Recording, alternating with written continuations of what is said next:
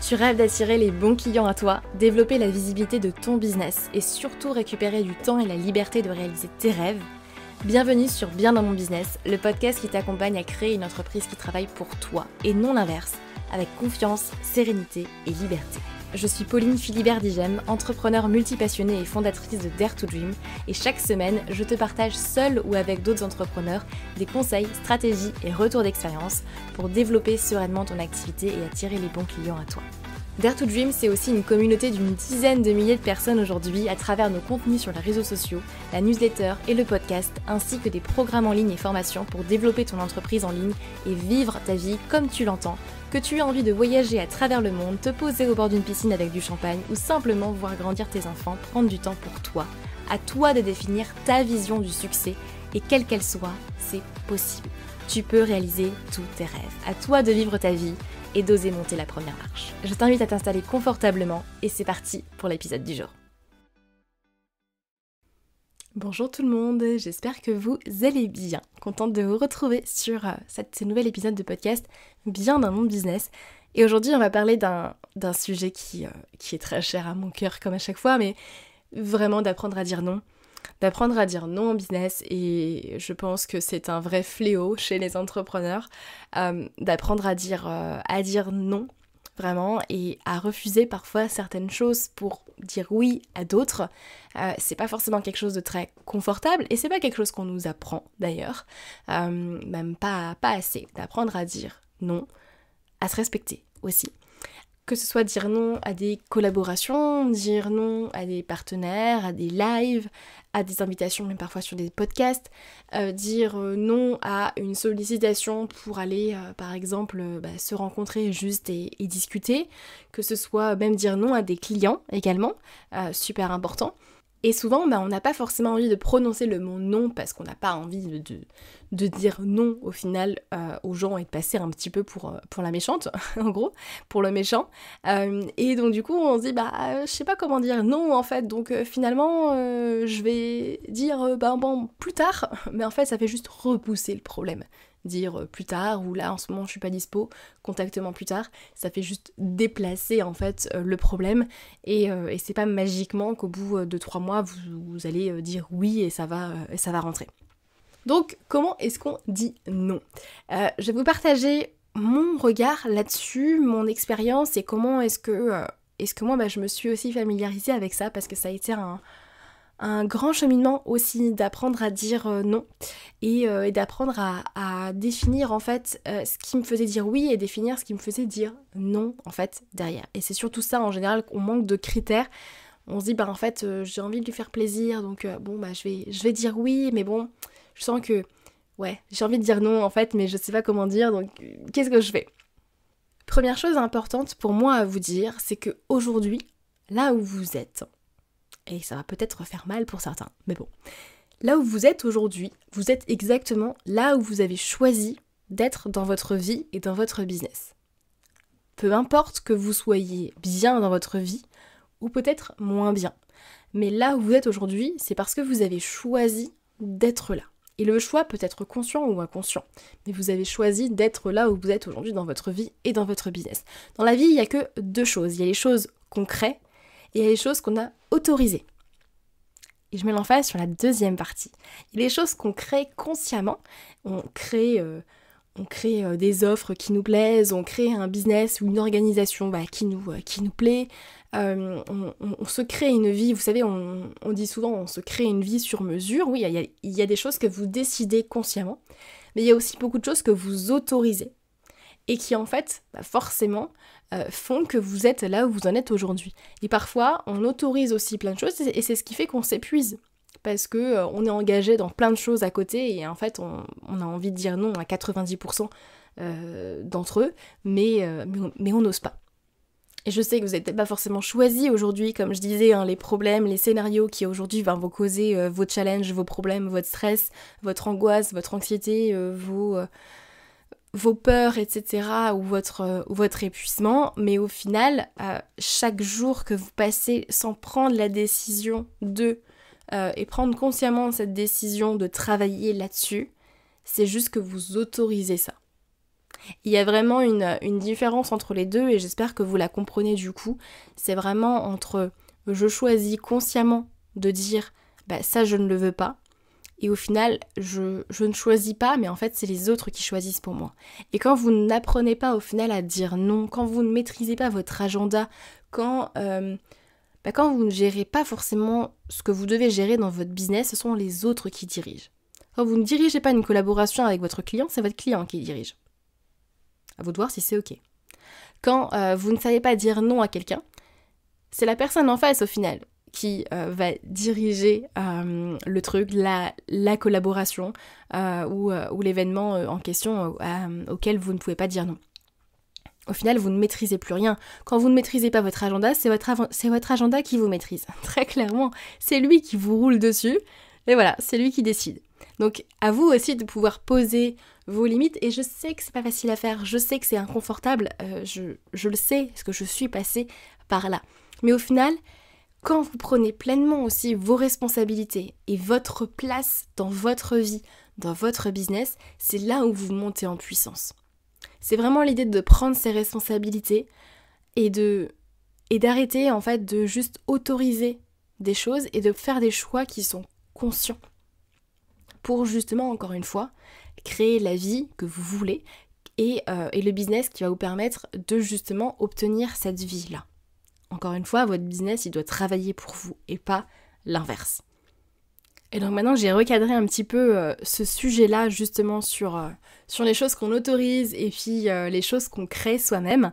Donc surtout, vous, l'aurez compris, c'est en général plutôt les choses qu'on autorise qui vont nous poser problème. En fait, il faut comprendre que plus vous allez avancer dans votre, dans votre chemin entrepreneurial, plus vous allez solliciter. Et plus votre job sera de dire non 90%, 95% du temps. Et je sais que c'est pas agréable. C'est vraiment pas agréable, c'est assez inconfortable. Et surtout pour les personnes qui en général ont une blessure du rejet, une blessure d'injustice, c'est pas forcément euh, bah, ce qu'il y a de plus agréable de devoir dire non aux gens. Et donc comment est-ce qu'on dit non? La grande question du coup, comment est-ce qu'on dit non autrement qu'en utilisant le, thème, le, terme en fait non tout simplement? Euh, Moi je pense que c'est important de vous faire des petits... Euh, des petits messages types en fait euh, à côté et des, des, petits templates en fait que vous pouvez réutiliser lorsque bah, vous devez refuser une collaboration ou à un moment donné euh, bah, dire non euh, à quelqu'un, ça va vous permettre de gagner du temps aussi et, et de pouvoir déculpabiliser aussi parce que vous dites bah, c'est rédigé, c'est là, le texte il est là, c'est bon, je peux juste, je peux juste l'envoyer. déjà, la première chose, je pense, c'est dire non à une sollicitation bah déjà c'est ok, mais vous n'êtes pas obligé de dire euh, juste euh, ben non, j'ai pas envie. Ça peut être juste oui, ça a l'air super intéressant. Euh, maintenant, j'ai pas forcément le temps à y allouer aujourd'hui. J'ai déjà d'autres projets sur, sur le feu actuellement et ça ne rentrera pas dans mon agenda actuellement. Ça, c'est, j'ai envie de dire, le, le niveau, j'ai envie de dire, simple de dire euh, non. Maintenant, vous imaginez, ça repousse aussi un petit peu plus le problème, puisque la personne peut se dire, bah c'est pas grave, je te recontacte d'ici euh, deux mois pour, euh, pour qu'on puisse mettre ça en place. donc ça va être de faire comprendre aussi à la personne en face que c'est peut-être pas forcément en accord avec vous, ce que vous voulez créer. Donc autre exemple, quelqu'un qui vous sollicite par exemple pour pour aller boire euh, un café, mais bon, euh, vous savez que vous n'avez pas forcément le temps et vous avez déjà plein d'autres choses euh, à faire et que vous préférez consacrer bah, votre temps sur, sur d'autres choses, eh bien vous pouvez très bien aussi lui dire écoute, je suis désolée, mais je ne vais pas pouvoir prendre le temps d'aller boire un café avec toi.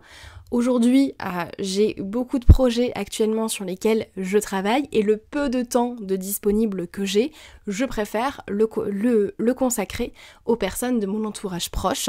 Merci pour ta proposition, mais je vais devoir malheureusement décliner. Je te souhaite tout le meilleur, bonne journée et vous signez. Et du coup, ça n'a pas forcément besoin d'être quelque chose de très, de très froid en disant non ou juste en laissant la personne en vue. On peut répondre cordialement aussi, juste en expliquant ah voilà, j'ai pas le temps que j'ai aujourd'hui, je préfère l'allouer à d'autres choses. Et c'est ok, on n'a pas tous les mêmes valeurs. Euh, et, je pense que c'est ça aussi, c'est se dire comment savoir aussi si on dit oui ou si on dit non. C'est voir si c'est en accord aussi avec vos valeurs et si c'est en accord avec votre vision. On parlait de la vision dans un autre épisode de podcast euh, déjà. Euh, je sais que j'en parle assez souvent, mais moi ce qui me permet de savoir si je vais dire oui ou si je vais dire non à telle ou telle opportunité, telle ou telle chose, c'est me dire est-ce que ça va me permettre d'atteindre mes objectifs? Est-ce que ça va me rapprocher de ma, vision? Ou est-ce qu'au contraire ça va m'en écarter?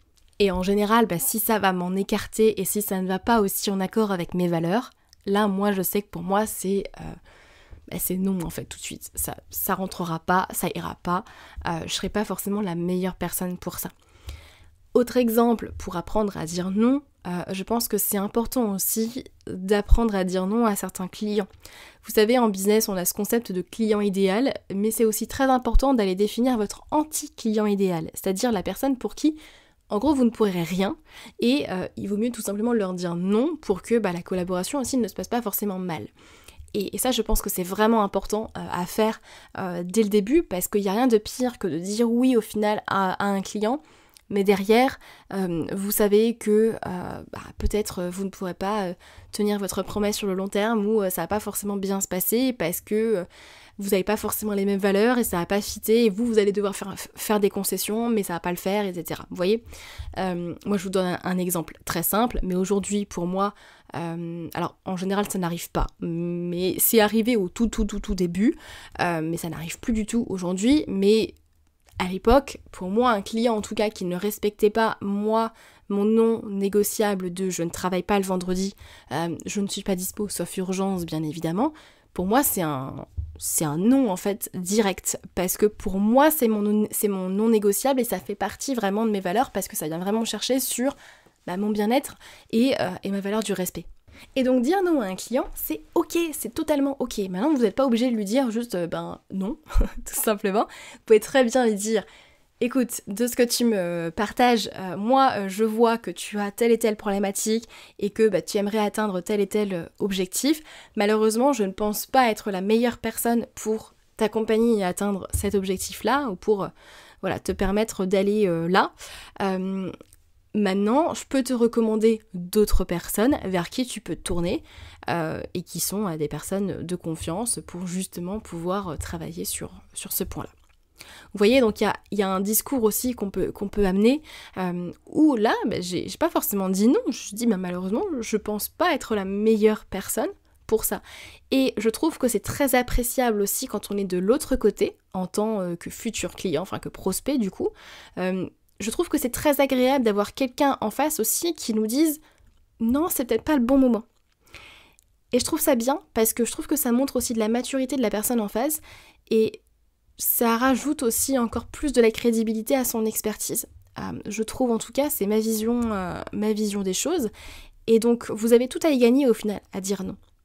Et si vous êtes encore plus intelligent, vous pouvez même, dans ces cas-là, mettre en place un partenariat ou un contrat d'apport d'affaires en fait avec d'autres personnes à qui vous allez du coup euh, bah, renvoyer certains clients et si collaboration se fait, si contrat se signe derrière, eh bien vous récupérez une commission. Alors ça, ça c'est pas forcément tout de suite, euh, mais si vous avez des personnes à qui justement bah, vous redirigez certaines personnes de manière assez fréquente, vous pouvez très bien contacter cette personne-là et me dire, ben voilà, euh, moi j'ai toujours euh, cette demande-là, mais je la traite pas dans mes offres, dans mes accompagnements. Est-ce que tu penses qu'on peut mettre en place un, espèce de contrat d'affaires pour, pour structurer un, partenariat sur le long terme? Ok. Et là, vous pouvez, bah, au passage, en plus, récupérer une commission, c'est quand même sympa. Je pense que pour moi, la règle d'or pour apprendre à dire non en business, c'est d'être déjà respectueux envers ses propres valeurs. D'apprendre aussi à se respecter en fait et d'apprendre à poser ses propres limites. Euh, ce qui est tout un art et tout un challenge. Et peut-être qu'au début, vous allez bafouiller et vous n'allez pas forcément être à l'aise de dire non, c'est ok, c'est normal. C'est comme la première fois qu'on vend un produit euh, à un prospect. Bon, on n'est pas trop à l'aise, on se dit ok, je sais pas trop ce que je fais, mais bon, je le fais quand même. Euh, et c'est comme la première fois qu'on publie un post sur les réseaux sociaux ou qu'on fait une story face caméra. Bon, bah, on n'est pas forcément très à l'aise, mais on le fait. Et c'est en passant à l'action aussi qu'on prend confiance en soi. Mais donc apprendre à dire non, c'est c'est aussi pour moi être en accord avec ses propres valeurs, connaître ses valeurs et se dire ok, à quel moment est-ce que là, ça ne les respecte pas si je vois qu'il y a quelque chose qui ne, qui ne me va pas, qui ne me convient pas, eh ben c'est là que je vais pouvoir dire non. Autre exemple, si maintenant vous êtes sollicité pour faire un live sur Instagram à 20h euh, le soir parce que c'est là où l'audience donc de votre partenaire est la plus active, mais que vous, dans vos valeurs et dans vos non négociables, c'est euh, non, le soir, moi je prends le temps avec mes enfants bah, de passer du temps avec eux, 20h euh, bah, ça n'ira peut-être pas en horaire. Et donc là, bah, c'est aussi apprendre à dire non. Si vraiment pour vous c'est un non négociable de pouvoir passer du temps avec vos enfants ce soir-là, eh bien ce sera, euh, ce sera non, tout simplement. Euh, et il faut pas avoir honte en fait de le dire. La personne appréciera aussi, et en général, si elle est assez intelligente, elle ne vous en voudra pas, ou alors c'est que c'est pas une bonne personne, très clairement. Euh, mais eh bien en général, il n'y a pas de. Il a pas de problème en fait, on peut dire non sans se sentir rejeté aussi derrière, et c'est ok. Et vous savez que j'aime toujours euh, vous faire passer à l'action dans ces épisodes de podcast et pour moi c'est important euh, que vous ne fassiez pas juste m'écouter mais qu'on puisse passer à l'action. Donc deux petites choses que j'ai envie de vous partager. La première c'est essayer de regarder déjà dans votre planning, dans votre quotidien.